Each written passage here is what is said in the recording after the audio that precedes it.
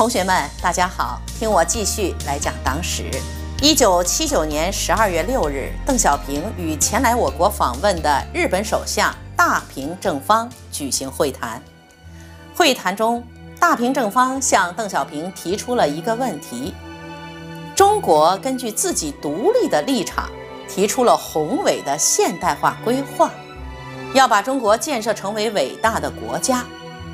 中国将来会是什么样子？整个现代化的蓝图是如何构思的？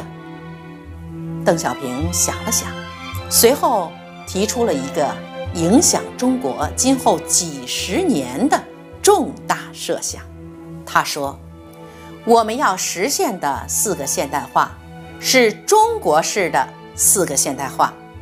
我们的四个现代化的概念。”不是像你们那样的现代化的概念，而是小康之家。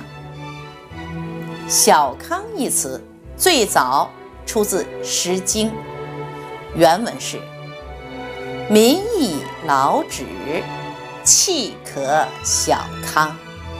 用现在的话说，就是过上相对富裕的生活。邓小平用“小康”。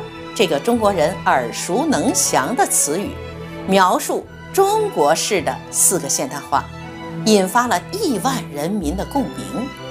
接着，邓小平对小康之家做了进一步解释：到本世纪末，中国的四个现代化即使达到了某种目标，我们的国民生产总值人均水平也还是很低的，同西方来。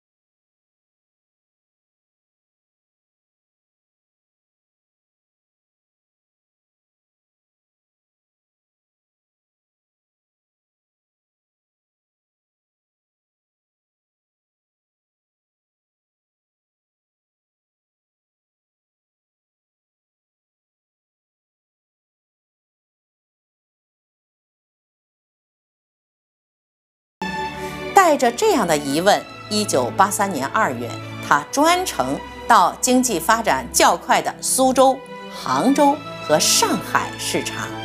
他一路走，一路看，一路不停地算账。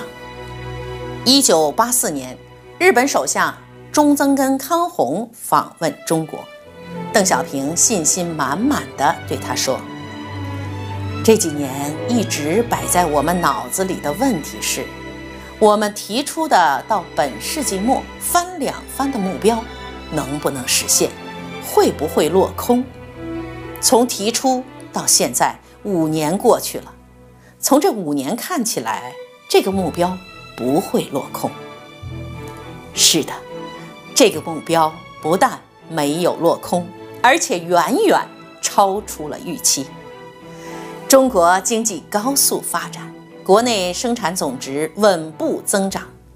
一九八一年增长百分之五点二，一九八二年增长百分之九点一，一九八三年增长百分之十点九。此时，在邓小平的头脑里，跨世纪的发展战略正在酝酿。